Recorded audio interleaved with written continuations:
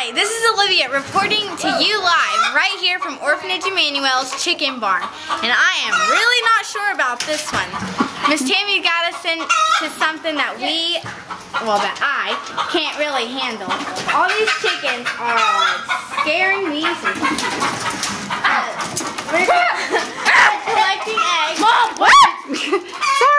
Roosters are a little aggressive. They do come at you. we already got attacked yesterday. This is the deal where yesterday we collected 200 and something eggs. It's not so good today. Oh, excuse me, 276. I stand corrected. Um, one side of the chicken barn is doing pretty good. They've got a lot of eggs going on there. There's Gabby. Gabby, who handles the chickens at our place, is not so afraid of these. Olivia does not like the chickens, and neither does Miss Tammy. Alex, how's it going over there? Good. Okay. Ah! Sorry. There are a lot of chickens in here, and a lot of roosters. but Bryce has chosen to get outside the cage, although he I've battled already been floored.